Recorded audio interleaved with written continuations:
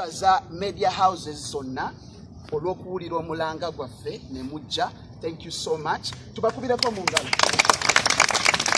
Um, njagala okwebaza abayimbi bonna abandi mabega aba gospel cause tulinawo bayimbi basekinoomu tulinawo n'abayimbi abatambudde okuva ejjinja okusobola okujja mu press conference eno. Tubakubireko mu ngalo. Njagala bategeeza nti gospel music erina abayimbi abasukka mu lukumi mu bitaano yadde ng'abasinga kumwe mumanyi abayimbi kumi ku kumi na bataano. Abayimbi abo bayimba music ow'ekika kya urban ne bayimba music ow'ekika kye tuyita loco oba ow'oluganda oba kadongo kamu.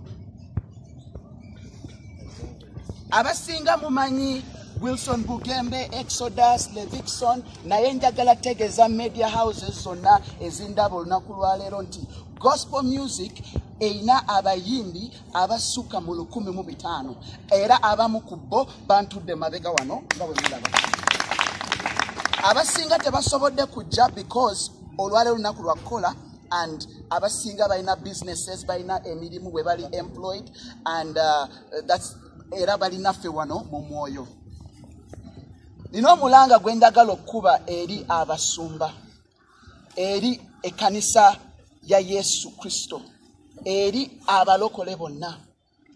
Ebivulu by'abayimbi ba gospel emyaka egisinga gibadde gisumbuizibwa nga zifuna challenges flops nga abayimbi tuyimbira obutebe naye ng'omubiri gwa kristo munene nnyo.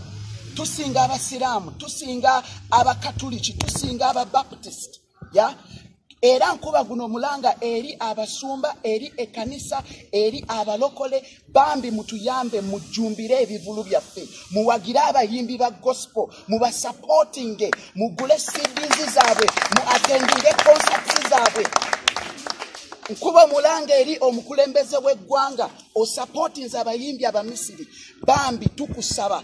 Jangu tukuwelkaminga.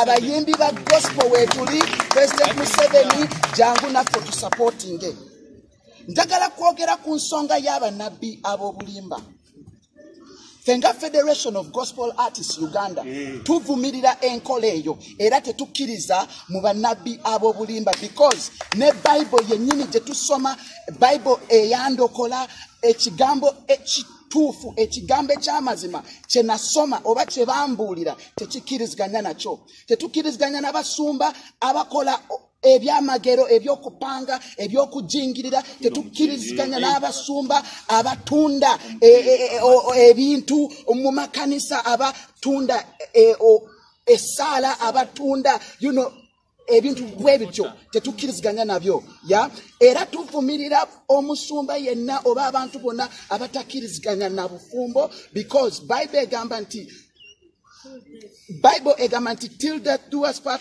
bayibuli egamba nti banange tuyimirire ne laneke laneke abadde blessing gye tuli.